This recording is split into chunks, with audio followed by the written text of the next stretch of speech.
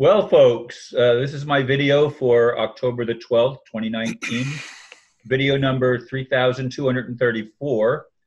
And as you can see, I have Steve Hart with me, and uh, we're going to be talking about twin flames or soul families. Steve, I hope you're hearing me fine. Yep, we're here.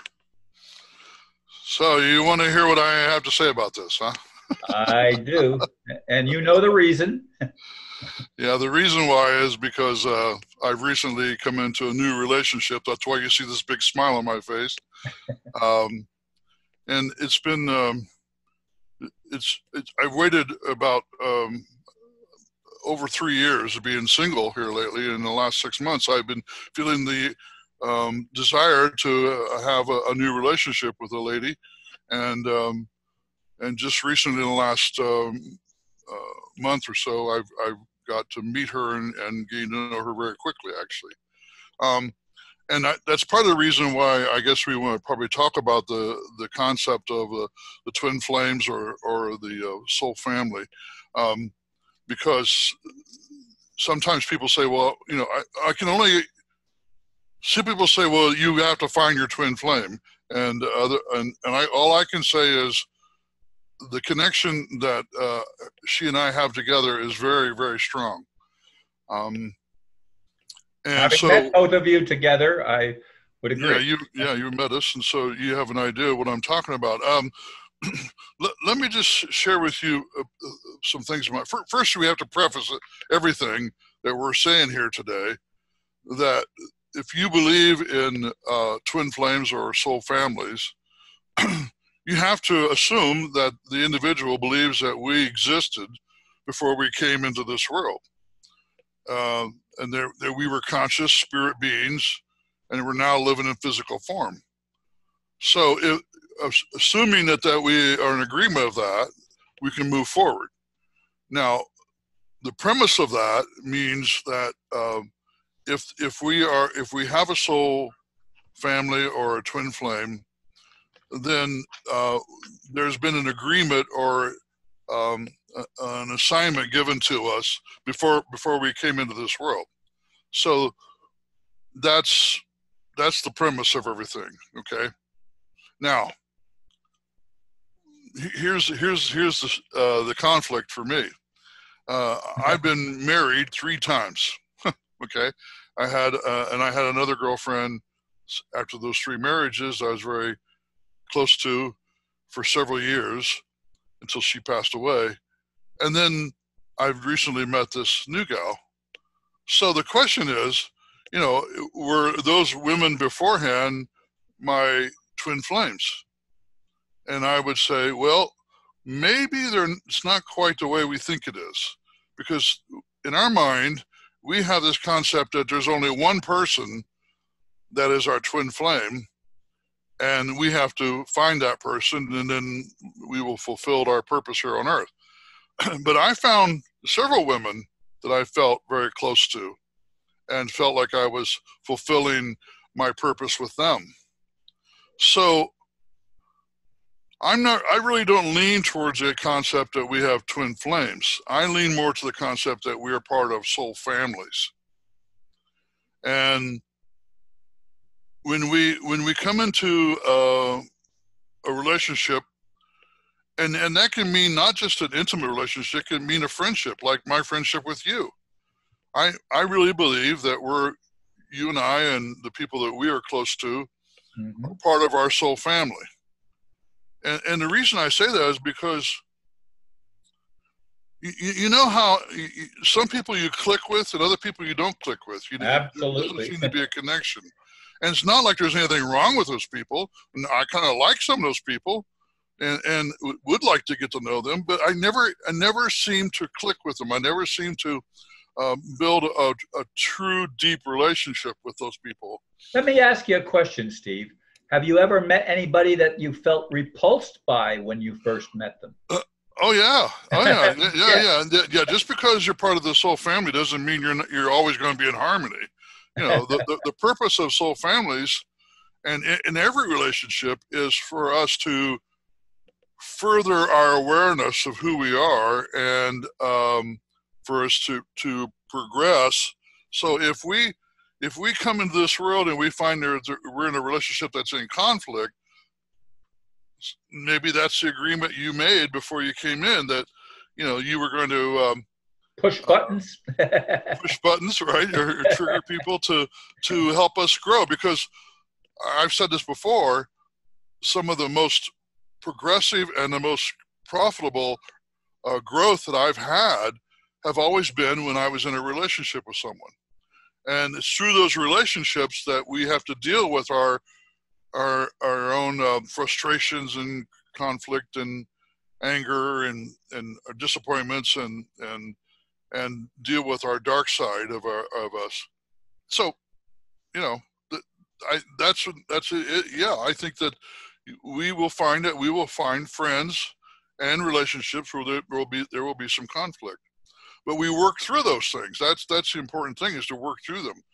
Now you're not going to find at least my experience would be you're not going to find uh, a, a soul family member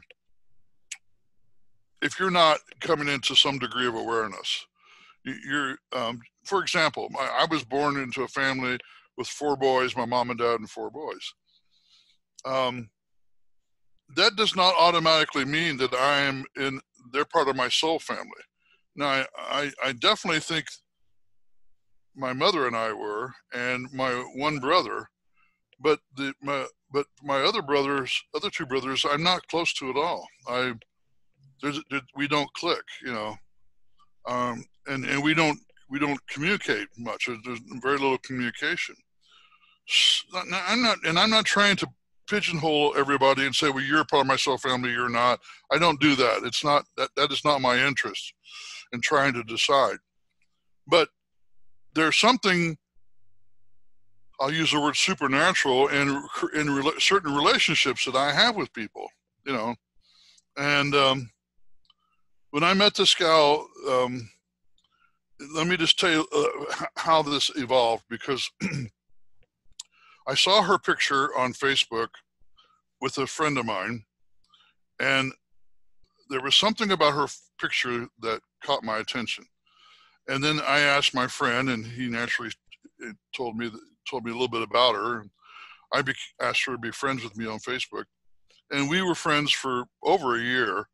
And and only in the last six months did I start conversing with her, and uh, and then only about two months ago I actually met her in person because she lives in another state outside of where I live here in here in Florida.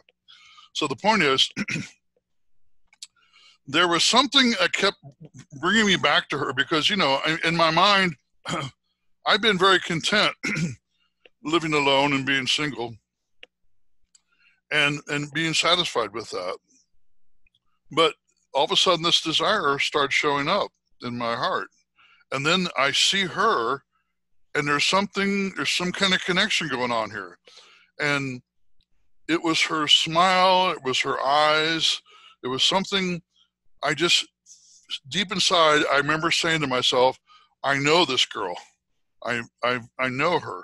So my belief system is that we have known each other in previous lives and before we came in. She would agree with you. yeah, and she she agrees with me, and yet we, uh, uh, we are, how we met is it was not based upon the, the spiritual. She was not part of my spiritual circle. Is what I'm trying to say uh, she kind of came out of the blue, and and uh, but yet now that she now that I'm in a relationship with her, it's pretty evident that she's now becoming a part of my spiritual circle. And well, there's and, a there's a professional connection. We don't need to go into the details of that, but you know, you you have, yeah. Well, no, yeah, I'm not afraid you're to both, You're both entertainers in a way. Yeah, we're both entertainers. I'm a, a magician. She's a clown, and so therefore we there that that was the initial um, connection but once once I got beyond that, I was going, wait a second, who who is this girl? You know, and uh, and you're right, she feels exactly the same way, which is amazing. She's a In beautiful fact, soul. I mean, having met her myself. Yeah, yeah, you know, right. She's it's impressive. she's so, impressive, and the whole. Yeah, well, I, I, I will have to say, in my past relationships, I've had some beautiful souls in my in, in my life in, in my marriages and I've loved all of them, but they've but some of them have been a struggle. Uh, some of them have been there's there have been some conflict. Um, that's part of the reason why I'm divorced, I guess. Um, but my, if I jokingly, I will say this. Part of the reason I've had three marriages and, and four relationships before this one is because these were like chapters in my life that I'm living in this body in this in this as Steve Hart. And so so instead of dying and coming back and reincarnating and have another relationship and have another relationship, I've I've had multiple relationships in this time to save myself the time from dying and coming back. now that's that's my joke in my head, and and maybe there's some truth to that. I, I don't know. I will tell you that all through all these relationships, there's been leaps and bounds in my awareness and where I'm at in my consciousness and in my belief about who I am, and um, major changes in, in in how I live and how I experience life. I'm not the same person I was when I first got married, you know, and each marriage, each relationship has taken me to another level.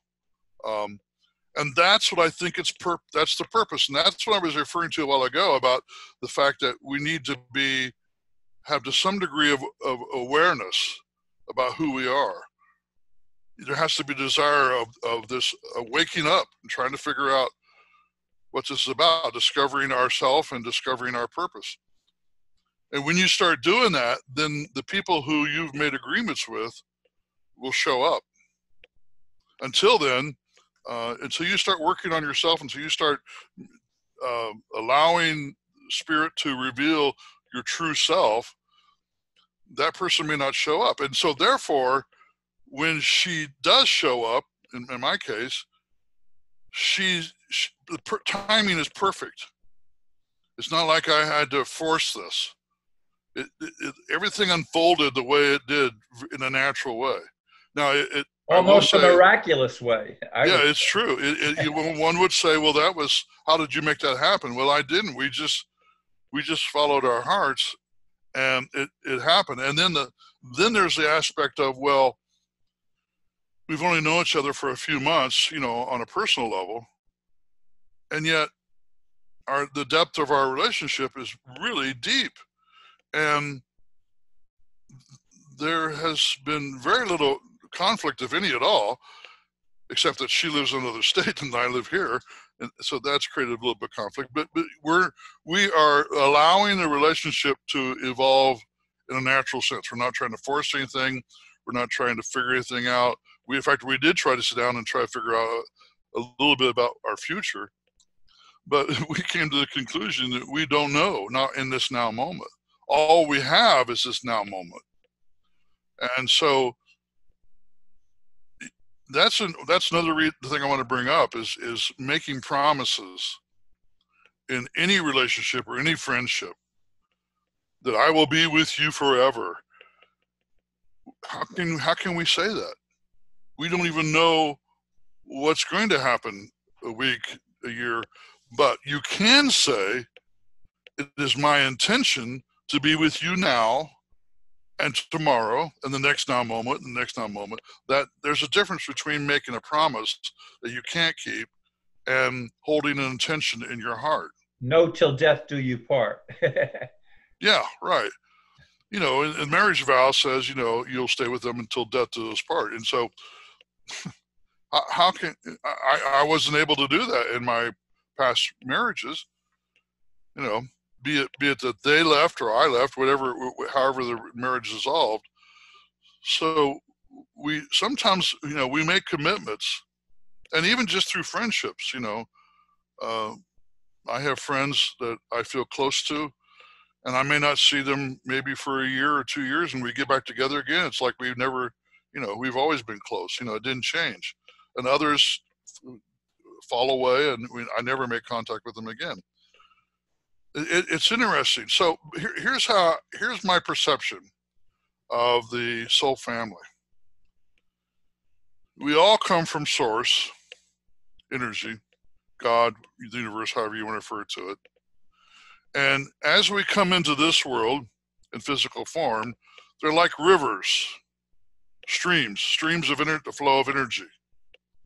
And we're following those streams, and there are certain soul beings that are part of the stream that we're in, that we're a part of, and we begin, we share this this energy flow of energy pattern. And in that, there's these agreements that we make to help each other fulfill our purpose here.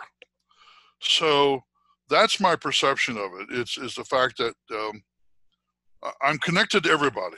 I see the divine within everyone, every human being, in, in every animal and everything in, in this world. I see the divine, but I can only relate to the ones that I have been connected to within my soul family in the in the depth that I've experienced it. You know, uh, um, it, it doesn't happen by accident. It, it it happens by following the energy patterns. So, if if someone is looking for um, a, a, soul, their soul family or full soul mates, um, then then you just it's a natural flow. You have, the the only work you can do is within you. You do the work within you, and that person will show up. They'll they'll be they'll be attracted to you, and then you'll meet. You know. I wish I could experience that. I've had such a disaster with with relationships. Uh, it's you know. Anyway, well, I, th- I, I, I was married twice, and this you know I, I don't want to go into the details here because it's your you're making the video with you, but uh, I've experienced some things that make me very leery of relationships with women period or men. I mean i'm not a, i'm not attracted to men of course uh, other than a soul family but not certainly not a romantic connection. Right. I understand. And and, and um there was something else I was going to share with you. I'm sorry. What it was. No, no, that that that that's good that you shared that because that's your experience, and I understand the the reluctance. See, here again, you say I, you like to have that. Well, you can have that, but you it has to be attached.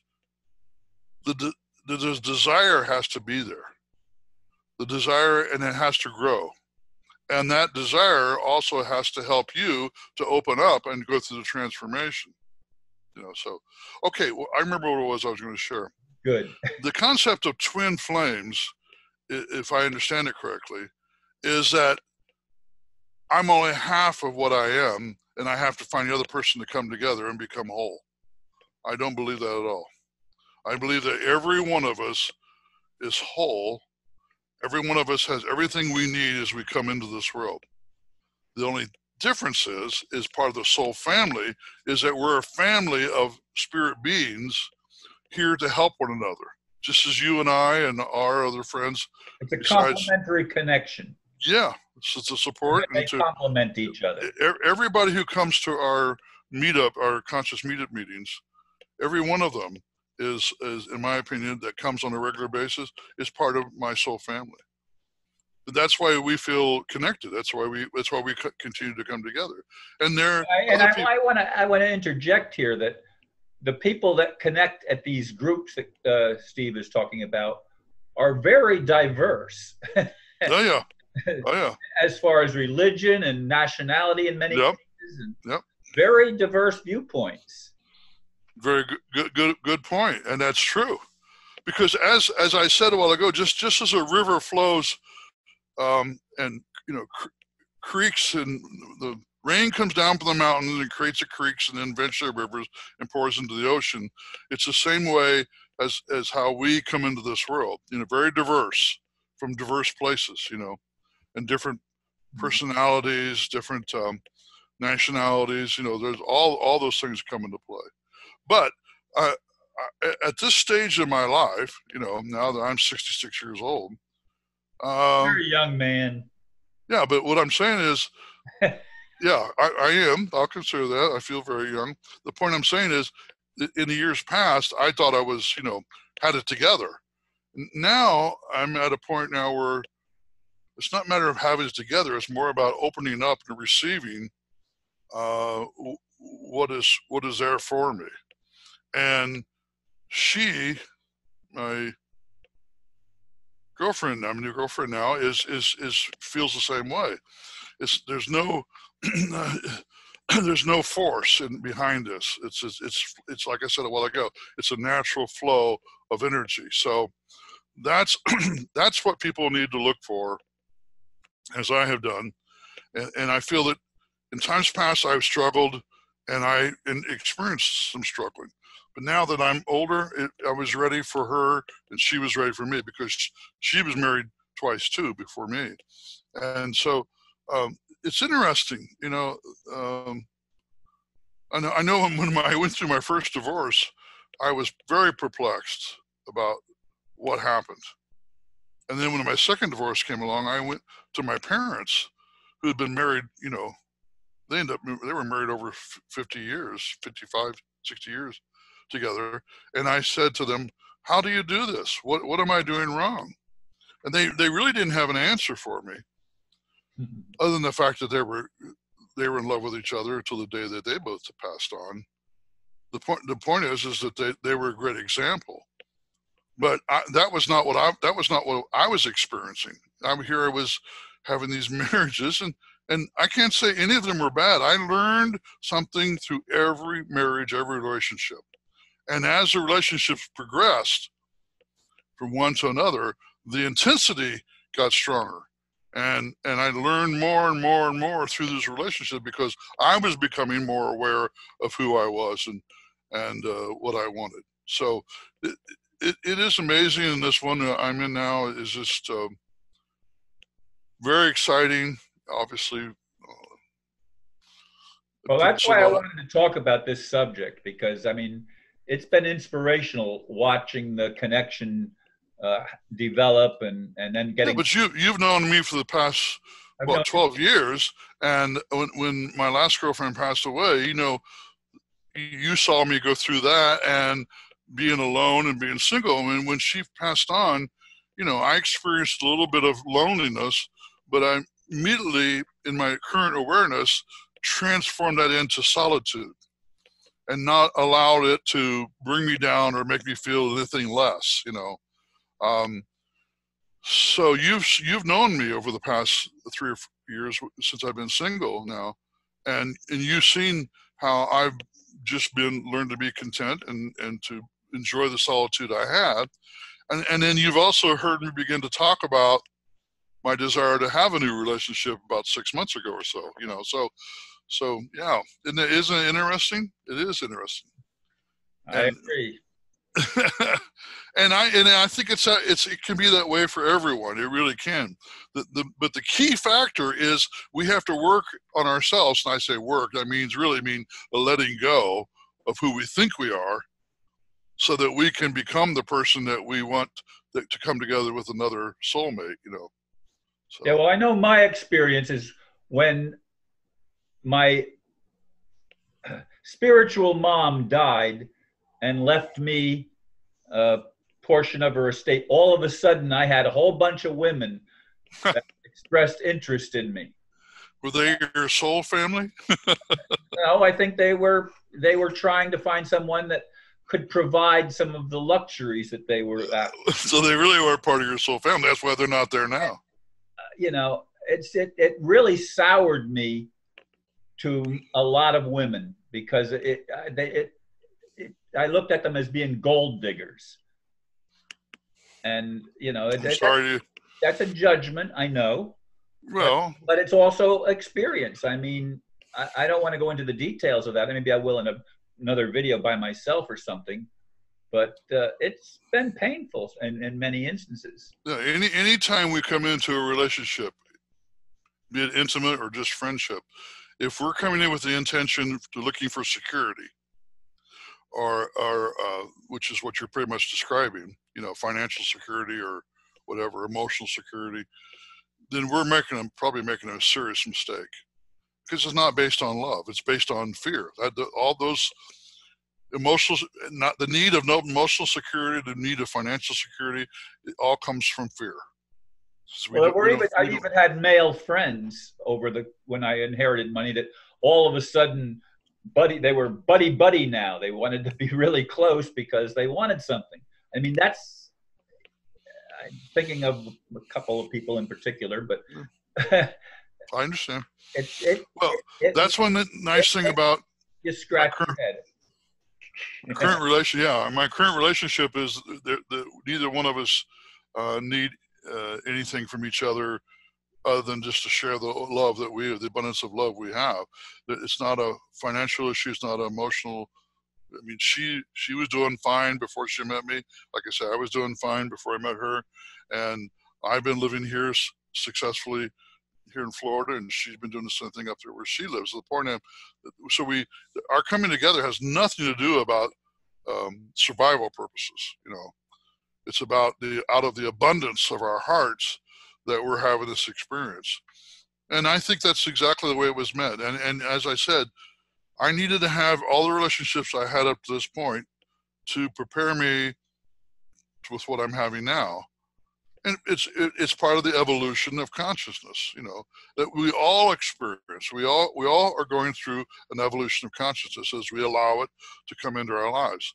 And it's, it's becoming it's really, more intense and more rapid it seems. True true that's true. So so i'm i'm rejoicing in it. That's a big smile shows up on my face. Well, and, and, and as I said, the, the, amazing thing about this new relationship I'm in, there is really no struggle. In fact, I it's almost as if she is she reads my mind. She she knows what I want. I know what she wants before we even express it to each other. And this is this is a little bit different from the past relationships I've had. I mean, I've had a deep connection. I'm not trying to say I haven't because I have but the but this one's even easier you know wow you know really really what's if I were to make a list of the things I wanted in, in a new relationship, this is she's giving me everything I want, you know. And I think that everybody can have that. Now, inspiration. as, you said a while, as you said a while ago, though, sometimes they come in to, to teach us something. To have there's some conflict or you know differences that show up, but even in my last relationship, she was able to challenge me about some of the things. And, and I'll be honest with you, one of the major things I had to deal with was what I call spiritual pride. Uh, you know, the thinking that I knew more than she did, or, um, you know, I had this deep esoteric knowledge that no one else had. And that was nothing but spiritual pride. And she would sometimes point that out to me that I was hanging on to that. And of course, I go in defense and say, "What do you mean? You know, I'm not ego driven." and then the next thing you know, Spirit saying, "You better listen to what she's saying." And I was able to do it because I knew she loved me. I knew she loved me, so I was at a point now where I was able to deal with that. Up until that relationship, I was not really willing to deal with some of that. I still had this, you know, I know something you don't know, or I'm better than you, that type of, and that's nothing but pride, which is fear based.